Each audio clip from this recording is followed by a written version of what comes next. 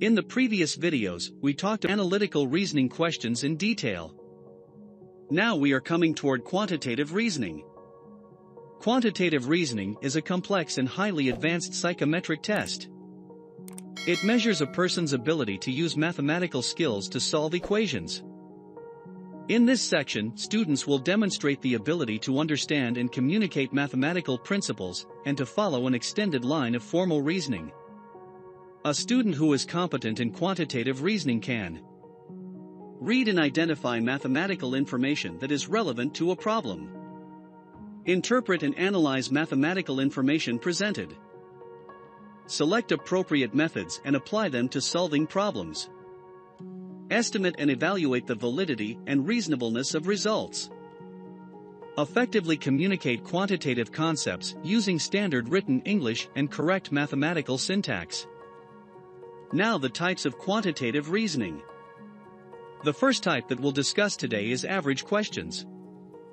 In ordinary language, an average is a single number taken as representative of a list of numbers, usually the sum of the numbers divided by how many numbers are in the list. Here we will learn important types of word problems based on average. The questions are mainly based on average or mean weighted average and average speed. Ratio problems are word problems that use ratios to relate the different items in the question. A ratio is defined as the ordered pair of numbers a and b, written a slash b where b does not equal 0, and proportion is an equation in which two ratios are set equal to each other. Have a look at the mentioned example. The main things to be aware of for ratio problems are The first one is to change the quantities to the same unit if necessary. Second, write the items in the ratio as a fraction. And third, make sure that you have the same items in the numerator and denominator. Percentage, a relative value indicating the hundredth parts of any quantity. A percentage is a way of calculating how much there is of something about the whole. Percentages are used very widely in both mathematics and everyday situations, and they are really useful for understanding relative amounts and making them meaningful. In the given example, the percentage of students who passed in English and maths individually have already included the percentage of students passed in both subjects. So, we are subtracting the percentage of students who have passed in both subjects to find out the percentage of students who at least passed in one subject A type is arithmetic question. Arithmetic is most probably one of the first few subjects that you learned at school. It deals with numbers and numerical computation. It is the foundation for dealing with other topics of mathematics. Arithmetic includes topics such as whole numbers, place values, addition, subtraction, multiplication, division, factoring, fractions, decimals, exponents, and others. Here in this section, simple decimal or fractions questions will be given you will have to solve them. You can get an idea from the example mentioned below. The profit and loss formula is used in mathematics to determine the price of a commodity in the market and understand how profitable a business is. Every product has a cost price and a selling price. Based on the values of these prices, we can calculate the profit gained or the loss incurred for a particular product.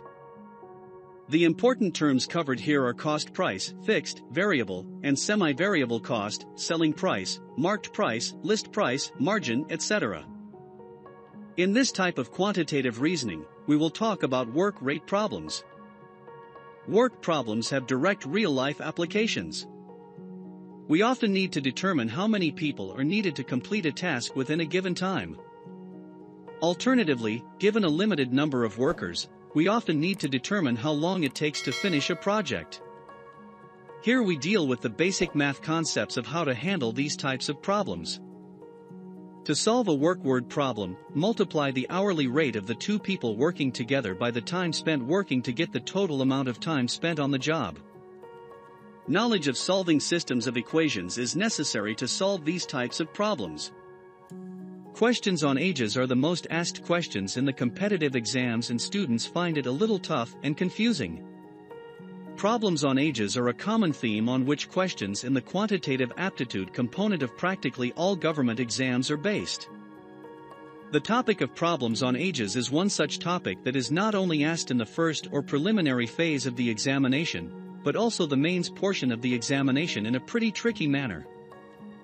Although the questions in this section may appear to be perplexing and difficult, if a candidate grasps the concept, he or she will be able to simply answer them. In mathematics, a set is a collection of elements. The elements that make up a set can be any kind of mathematical object, numbers, symbols, points in space, lines, other geometrical shapes, variables, or even other sets. The set with no element is the empty set, a set with a single element is a singleton. They may ask you different types of tricky questions related to sets and their types. Algebra is an important topic of mathematics, under which symbols are used instead of numbers. Also, this topic is very important from the point of view of various competitive examinations, because the questions related to it are asked in every government examination. Algebra is based on solving the equation of variables, constants, and extracting the values of variables. Algebra does not consist only of equations, polynomials, fractions, infinite product, number sequence, quadratic or form, new types of numbers like numerology, arithmetic, etc., are studied in many subjects. We all know that speed is the distance traveled by the time taken. The problem of speed usually involves something or someone moving at a constant or average speed, and out of the three quantities, speed slash distance slash time, we are required to find out the missing one. However, information regarding the other two will be provided in the question stem. These were all about the quantitative reasoning questions.